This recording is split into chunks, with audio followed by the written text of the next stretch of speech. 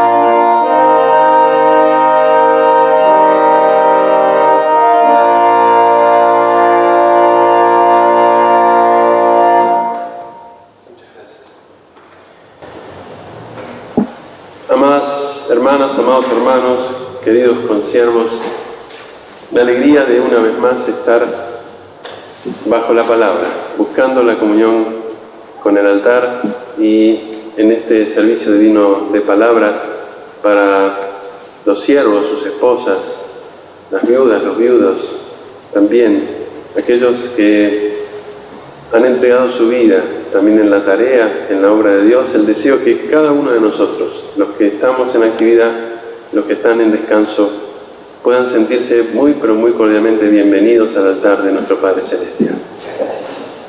Y estamos viviendo momentos muy, pero muy especiales, quizás eh, nunca imaginados por cada uno de nosotros, pero eh, recibimos tantas comunicaciones en, en, todo lo que toca, en lo que se está desarrollando, en, en la vida de los hijos de Dios, en la vida de, de, todo lo que nos rodea.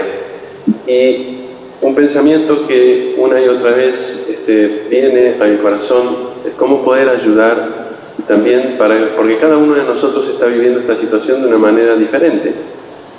Y en ese sentir, muchas veces nos detenemos en todo aquello que nos rodea y poco a poco vamos haciendo un lugar en el corazón a la preocupación.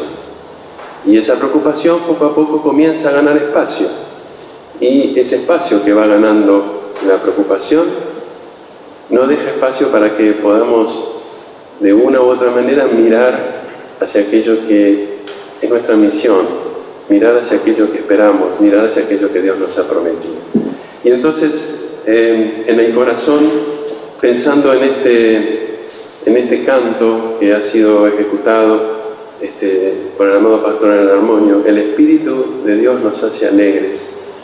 Este, hace unos días, mmm, recordando en él, y entonces me llevó al sentimiento del apóstol Pedro en esta carta, donde el título, antes de este primer versículo que he leído, el versículo 12, el título que tiene, dice, padeciendo como cristianos. Y entonces este primer versículo dice, amados, no os sorprendáis del fuego de prueba que os ha sobrevenido, como si alguna cosa extraña os aconteciese. Es como que esta palabra fuera eh, puesta para cada uno de nosotros hoy. Estamos viviendo cosas que nunca hubiéramos imaginado, pero esta palabra tiene validez hoy. No tenemos que sorprendernos. Tenemos que tomar las cosas tal cual vienen. Y uno puede decir, bueno, pero no todos tenemos la forma de mirar la vida de la misma manera. Es cierto, cada ser humano la mira diferente, pero ¿qué es lo que Dios quiere, eh, dónde quiere llevarnos, hermanos? Llevamos algo más. Somos hijos de Dios. Hemos recibido el don del Espíritu Santo. Y el don del Espíritu Santo es poder de lo alto. Y ese poder de lo alto está en ti y está en mí.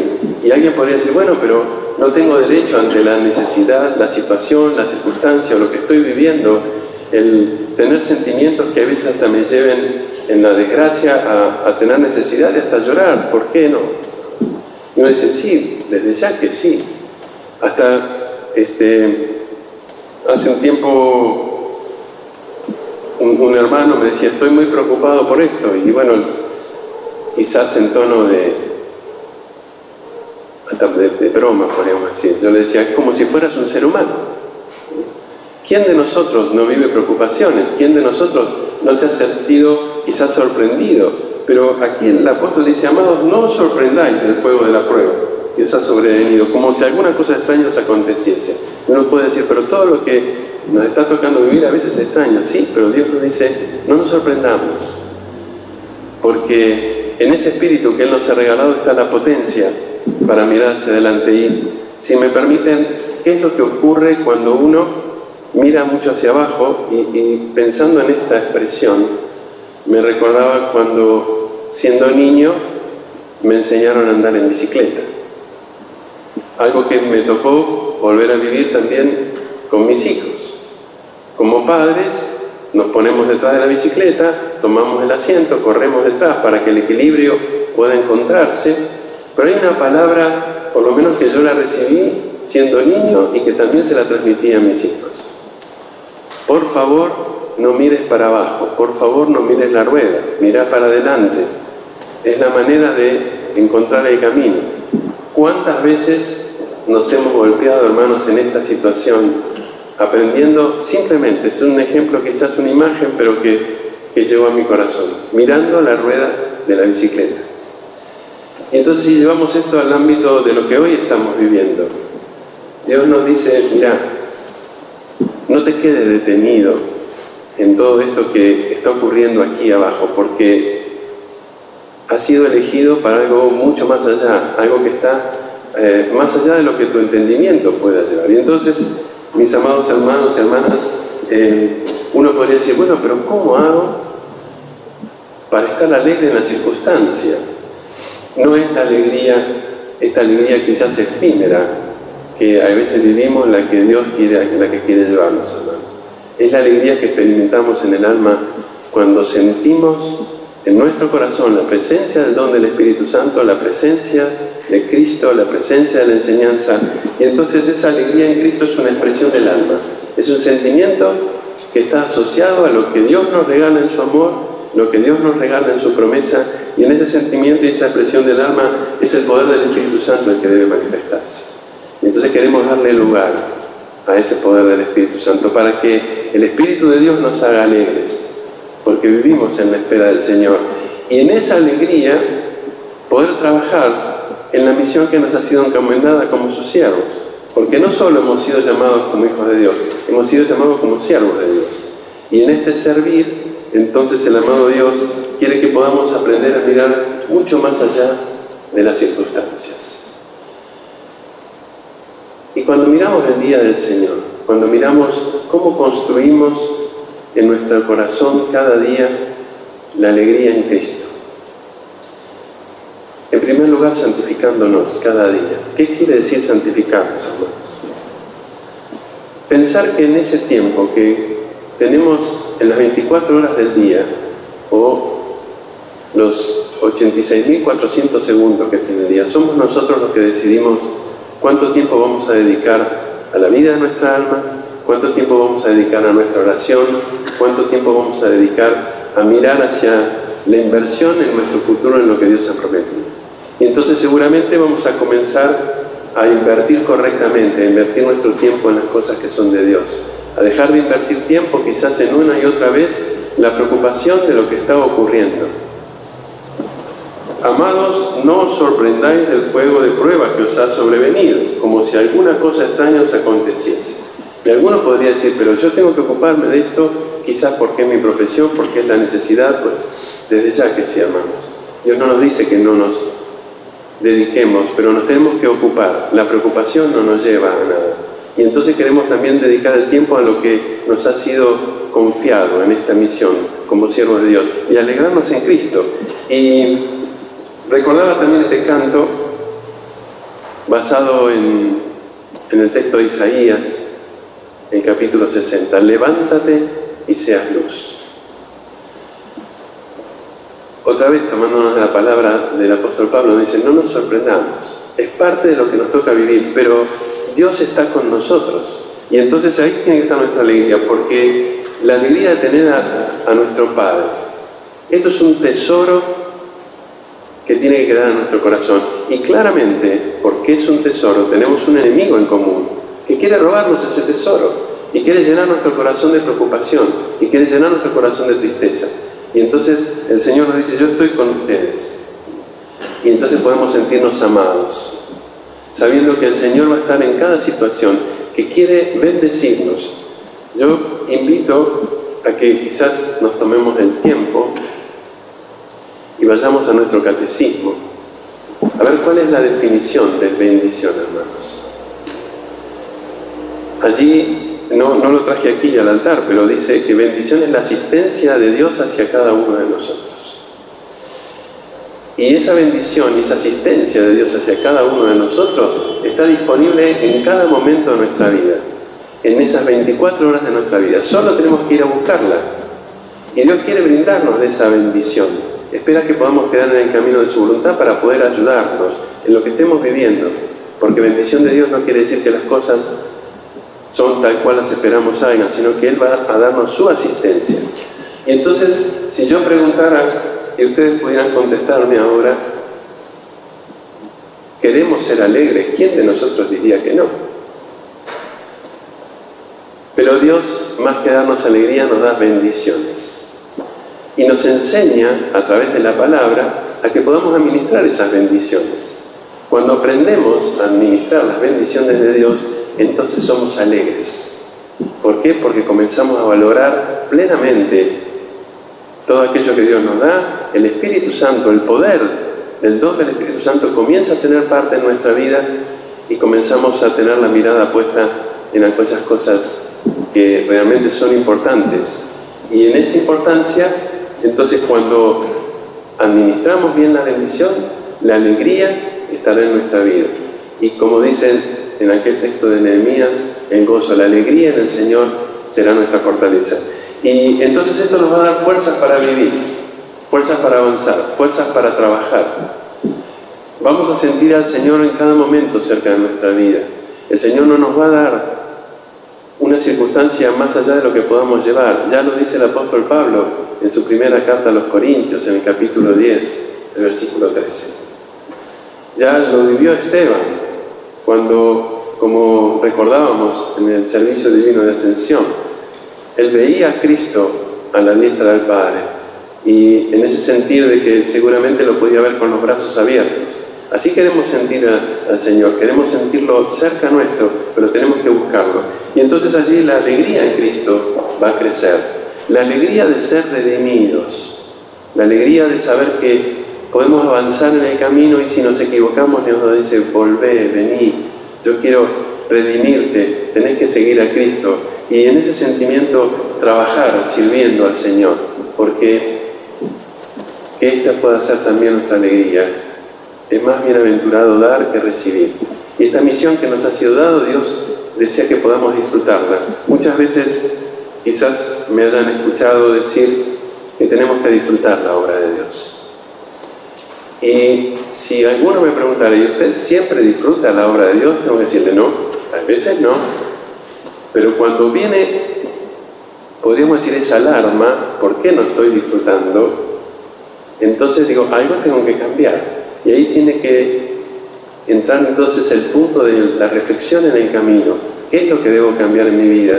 Porque Dios me dio esta vida y esta tarea y este camino para que pueda disfrutarlo, mirando hacia aquello que es importante. Lo que es importante el apóstol Pedro aquí lo dice, sino gozaos por cuanto sois participantes de los padecimientos de Jesucristo, para que también en la revelación de su gloria gocéis con gran alegría. El Señor prometió que iba a revelar su gloria a aquellos que esperaran en Él. No a los entendidos, sino a aquellos que esperaran en Él. Y entonces Él nos está revelando su gloria. Y nos dice, yo vuelvo pronto. Y la alegría de que Cristo vuelve, vuelve a buscarnos en esa promesa que Él nos ha dado. Es la que queremos buscar. La alegría del reencuentro que podamos tener con aquellos que nos han antecedido. La alegría de ese día, que pueda ser también nuestra fortaleza. Y vuelvo a la palabra de inicio. Quizás podamos pensar, pero yo no puedo estar alegre todo el día, o quizás viviendo esta alegría en Cristo todo el día. Aquel viejo dicho que dice, este, no es posible que los pájaros vuelen sobre nuestra cabeza o a su vez hasta que nos ensucien. Esto puede ocurrir. Pero depende de nosotros si dejamos que esos pájaros hagan un nido en nuestra cabeza. Entonces allí tenemos la fortaleza de la alegría en Cristo. Hemos sido llamados a servir, a ayudar, a trabajar. La alegría de saber que Él nos ama, que está con nosotros, que nos da la redención, que nos defiende. Y si me permiten, ahora viene al corazón un texto que está en Romanos.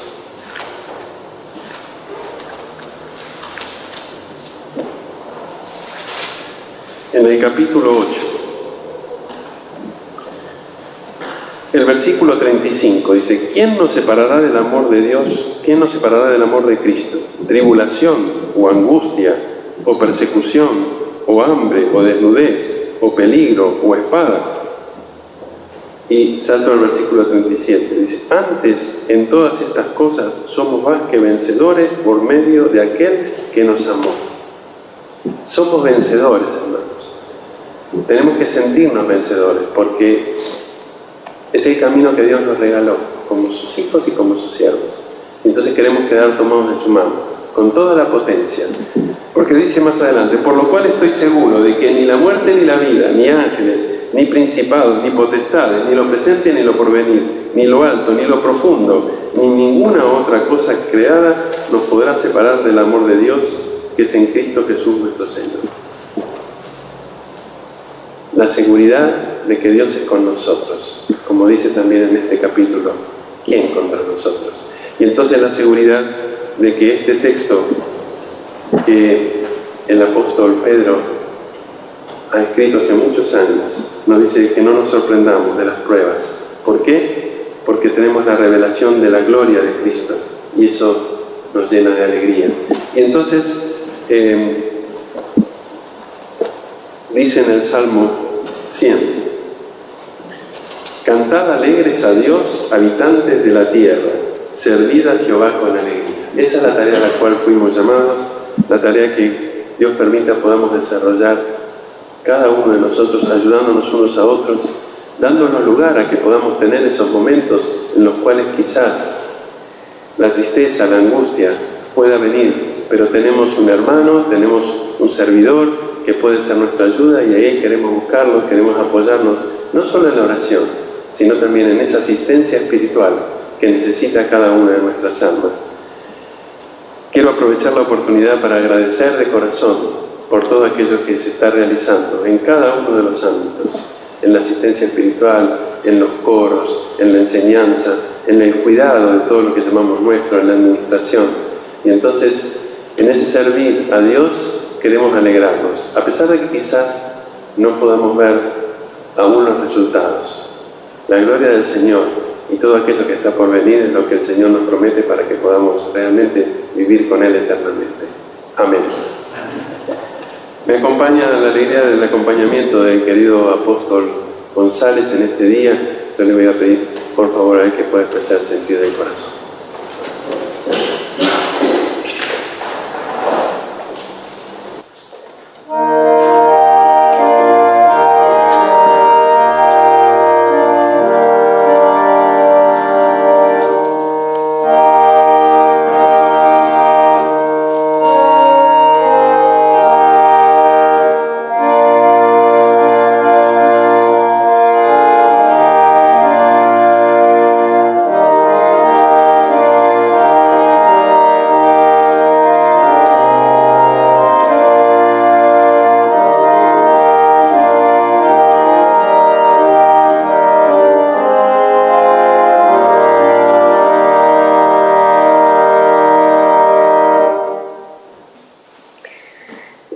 Amados, una inmensa alegría acompañar hoy a nuestro apóstol de distrito, esta reunión de siervos, de esposas, está la familia reunida frente a nuestro apóstol de distrito. Eh, muchas reflexiones producen la palabra. Eh, cuando nuestro apóstol nos habló de Nehemías, ese texto que eh, tenemos fortaleza en el Señor. Eh, qué importante es que esto también lo podamos tener para nuestro servicio, para nuestro trabajo. Pero así como el Espíritu Santo es un poder especial que hoy nos habló el apóstol, el amor también es un poder especial. Y cuando escuché nuevamente, lo he leído estos días, pero cuando el apóstol hoy comienza este texto de Pedro diciendo amados, eh, me pasó allí sentado, hermanos. Qué hermosa palabra. Somos amados de Dios. No solamente con el poder que tiene el Espíritu de Dios, sino con el poder de ese amor, que todo lo puede. Entonces hoy, cuando escuchaba que el Espíritu me decía, no mires la rueda de la bicicleta, no mires para abajo. Mirá que a los que a Dios aman, todas las cosas le ayudan a bien. Mirá que el gozo en el Señor es nuestra fortaleza. Y precisamente eh, la alegría puede ser efímera, pero el gozo es un don del Espíritu Santo que está permanentemente en nosotros. Y cuando uno indaga en las escrituras, hay tres palabras donde esta palabra gozo hace hincapié en Jesús. La primera es en su nacimiento, cuando Zacarías dice, os doy nuevas de gran gozo. Hermanos, nos gozamos cuando hemos nacido a la vida espiritual. Eso redunda en alegría, en gozo y en un servicio especial para poder cumplir nuestra misión con alegría, como una vez nos, dijera ese apóstol hace tanto tiempo, trabajar con alegría, entonces contagiaremos a los demás. El segundo punto de gozo está cuando Jesús ingresa en Jerusalén. ¿Vieron ese, ese domingo de Ramos? Sabemos que ingresa para cumplir la misión. Para que tú y yo tengamos esa redención, tengamos esa alegría, tengamos la posibilidad de ser redimidos y benditos de Dios. Hermanos, nos alegramos cuando Jesús entra en nuestro corazón. Cuando sentimos que esa palabra que hoy estamos en casa escuchando impacta mi alma porque siento que es la palabra de Dios que me está hablando a mi espíritu y diciéndome, tú eres mi hijo amado. Porque si hay algo por lo cual viene esa palabra del cielo es para fortalecernos. Y por último, la palabra gozo está en la resurrección de Jesús. Cuando las mujeres que lo fueron a buscar, con un vivo gozo, fueron a comunicar que el Señor había resucitado.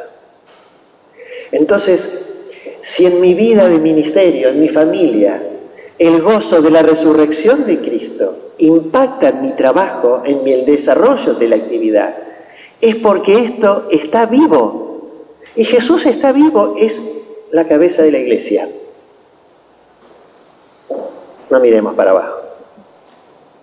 Miremos, es alumbrar el camino que es la palabra de Dios y que nos guía a toda verdad. Estamos muy felices de pertenecer a nuestra iglesia y estamos muy felices de saber que esperamos cada día al Señor. Amén.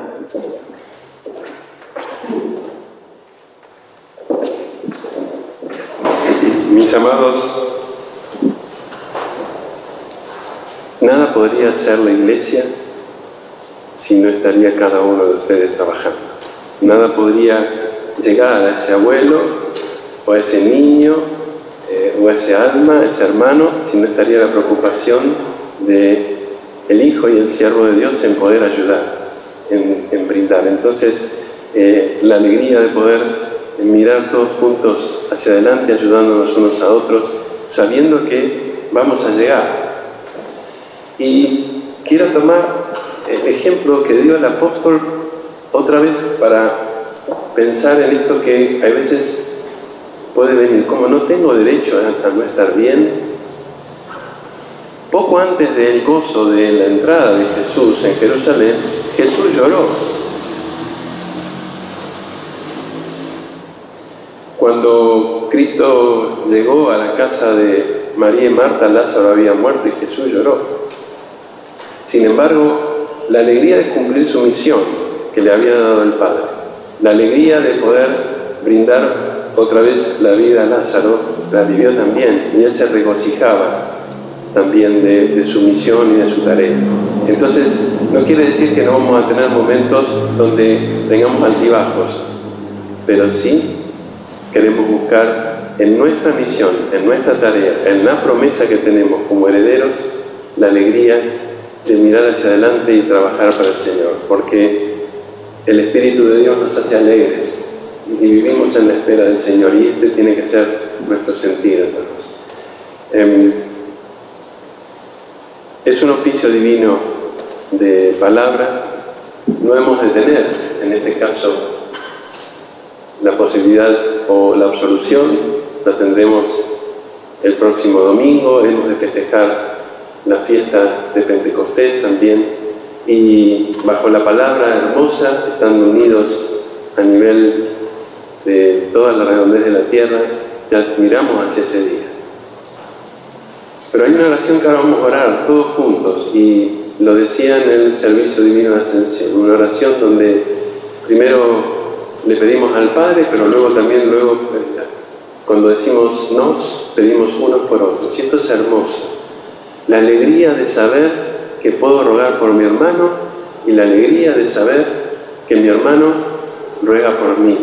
La fortaleza que da ese amparo angelical de las oraciones el movimiento de los ángeles que no vemos a nuestro alrededor por las oraciones, que esto también pueda ser alegría para cada uno de nosotros. Les invito que podamos ponernos de pie y orar la oración del Padre. Amén.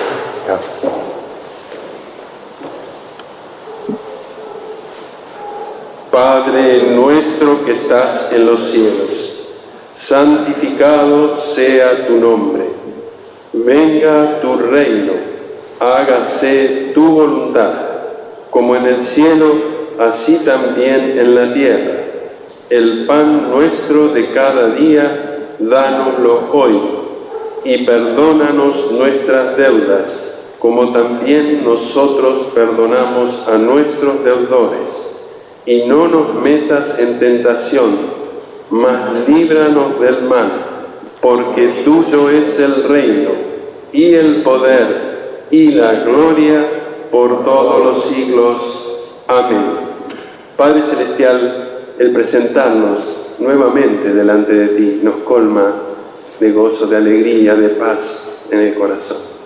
El saber que tú miras sobre cada uno de nosotros, sobre nuestra vida, también en estas circunstancias que estamos viviendo, también en estos caminos que no conocemos cómo transitarlos, pero que tú sí los conoces, buscando la guía en ti, en tu palabra, en la oración, en ese, en ese sentido común que tú nos regalas, en buscar, Padre, en el Evangelio todo aquello necesario para poder sobreponernos, el tener la ayuda de la palabra del altar, el poder buscar, Señor, entonces esa sabiduría que tú nos brindas, que nos has brindado y nos sigues brindando, no queremos perderla y queremos agradecerte desde lo profundo del corazón. Agradecerte que también nos has llamado como tus siervos, los que tienen una misión en tu casa. Nos has dado un ámbito de actividad y ese ámbito, Padre, queremos cuidarlo. A veces sabes, Señor, que quizás las circunstancias hacen que las fuerzas decaigan. Quizás, Padre, la preocupación hace que quizás busquemos solo la alegría en el éxito, pero sabemos que en ti tenemos éxito porque queremos hacer tu voluntad. Y entonces ayúdanos, Padre, a poder hacer tu voluntad. Ayúdanos a poder ayudarnos unos a otros. Ayúdanos a poder buscar a aquellos que quizás se han alejado un poquitito, que puedan sentirse amados, que pronto puedan retornar. Déjanos estar en cada uno de los rincones donde están tus hijos, llevando la palabra y tendiendo una mano allí donde podamos. Déjanos, Padre, quedar en ti. Y en esta tarea que tú nos has brindado, déjanos tener el éxito de hacer tu voluntad, sabiendo que haciendo tu voluntad también podremos ser benditos y crecer hacia la imagen de tu Hijo. Permite, Señor, que podamos orar especialmente por todas las circunstancias que se está viviendo en estos momentos. Rogar por cada uno de tus hijos en la necesidad de lo cotidiano, para que tú también quieras bendecir cada corazón ofrendadoso. En el ruego, Padre, que nos falte el pan, un techo, un trabajo. En el ruego que tú seas en manos de aquellos servidores públicos y profesionales que atienden a cada uno de tus hijos, a cada uno de nuestros prójimos, Padre, para que tú también allí coloques tu mano de amparo, rogándote por aquellos que se sienten solos, los que se sienten angustiados, para que puedan buscar ayuda. Queremos estar allí, colocando, Señor, todo nuestro sentir ante ti, pidiéndote por cada uno de tus hijos, nuestros niños, jóvenes, adultos, adultos ancianos y ancianos, Padre. Tú conoces el sentir que cada uno de ellos lleva, pidiéndote por tus siervos en actividad y en descanso, pidiéndote por las viudas y los viudos, pidiéndote por cada uno de aquellos que llevamos en el corazón, rogándote que nos permitas alcanzar como dignos el día de cumplimiento de la promesa, sabiendo que es una alegría la esperanza en el reencuentro con los que nos han antecedido. Colocamos este sentir ante ti, pidiéndote también bendigas a nuestro apóstol mayor y nuestro apóstol mayor en descanso, allí donde ellos se encuentran. Lo concedas por voluntad de tu Hijo Jesucristo. Amén. La gracia de nuestro Señor Jesucristo, el amor de Dios y la comunión del Espíritu Santo sea con todos vosotros. Amén.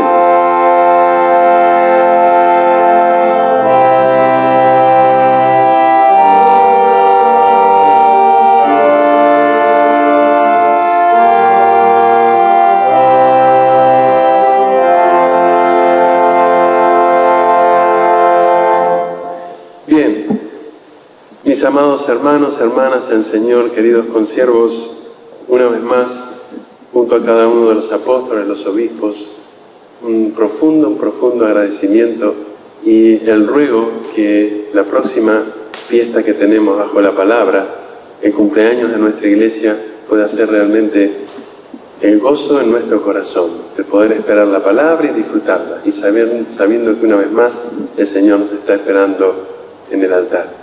Que Dios les bendiga, que los ángeles les acompañen. Y hasta acá oración. Hasta siempre.